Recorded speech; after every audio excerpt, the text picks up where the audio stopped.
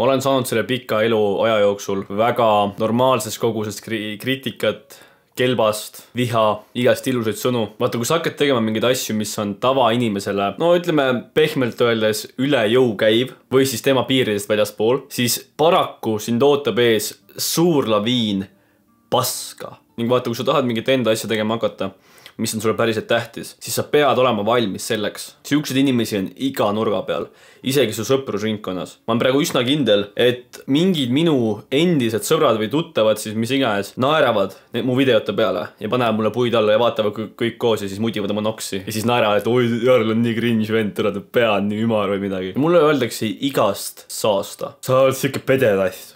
okei okay., ju siis sul on õigus mis edasi saab? ta ei tea, millest sa räägid, ma ei tea mitte midagi. su nägu on nii lame, kuradi munapea, otu-kotu-kotu jäpping sessioon.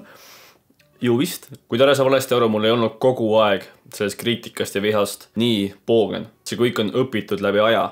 alguses ma ei tea, ma nagu mõtlesin, ma suren ära kui mul Tiktokis läks mingi see üks video viraliks, mis sai mingi viiskümmend tuhat vaatamist tol hetkel. seal tuli igast sitt ja siis tuli Isto ja siis tuli Luik ja siis tuli mingi kuradi teised low-key striimerid, kes üritavad olla no, Istod, eks ju. kõik lihtsalt sutskasid, sutskasid, panid puid, eks ju, ja tegelikult no ma olin cringe ka kunagi.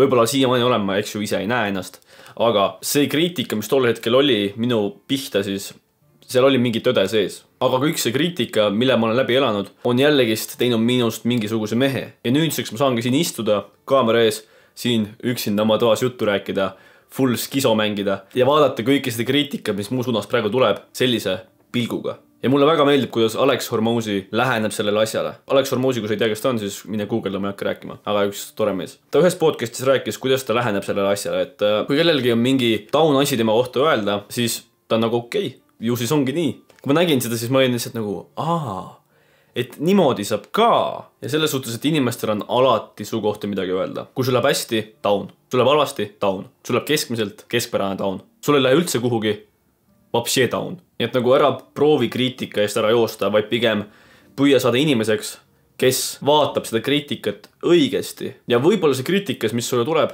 ongi mingi tõde sees alati ei ole. kui sulle öeldakse, et sa oled pede, konn, siis see tundub sisutühi, aga võib-olla sul on mingi iva sees. võib-olla sa käitudki veits pedekalt. võib-olla su soeng ongi natuke naljakas. aga jällegi, see on nende arvamus ja neil on õigus enda arvamusele. äkki sinu arvates on see soeng lahe. At the end of the day me läheme kõik magama ja me mõtleme enda probleemide peale. ja need, kes lähevad magama ja mõtlevad teiste inimeste peale, nad on tegelikult väga ebaõnnelikud. ja ma ütlen seda omast kogemusest, sest ma olin kunagi sihuke. ja nad mõtlevad ilmselt teiste inimeste peale sellepärast, et hoiduda enda elu peale mõtlemisest. sest et nende enda elu on nii sitt